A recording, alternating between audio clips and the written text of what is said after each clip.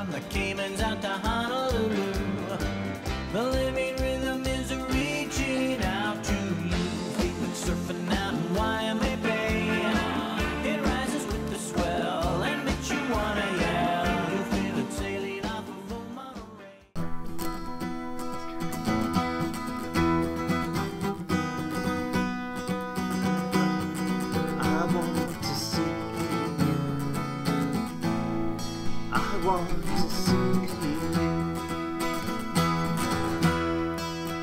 Well, I've had the privilege to lead worship for about 30 years now, a little more. And uh, this is the first thing I teach my worship team members that want to be on the worship team.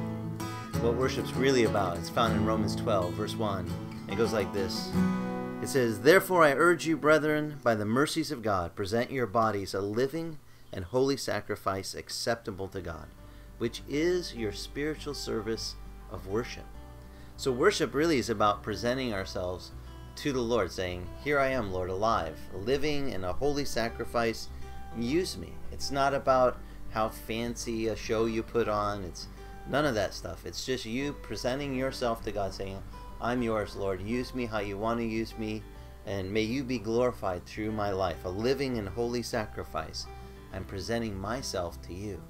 And the next verse in verse 2 says, And do not be conformed to this world, but be transformed. It says, By the renewing of your mind, so that you might prove what the will of God is, that which is good and acceptable and perfect. In 2 Peter uh, chapter 3, verse 9, it says, It is God's will that how many should perish? None. None should perish, but all should come to salvation through repentance. So God wants us all to be saved. But if you want to prove that to your friends, you have to be not conformed into this world. You have to be transformed. You have to let God change you from from within. That's what transformation is. God changing you from the inside.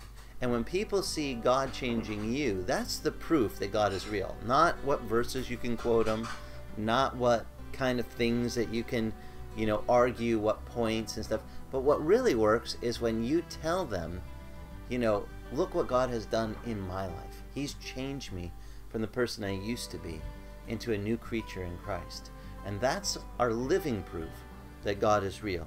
So I want to encourage you with that today. That's how we share our light with the world is letting God transform us. And we got to present ourselves to God. Just say, Here I am, Lord. Just use me. I want to worship you today. And I pray that blesses you and gives you encouragement for, for the daily encouragement that we need. God bless.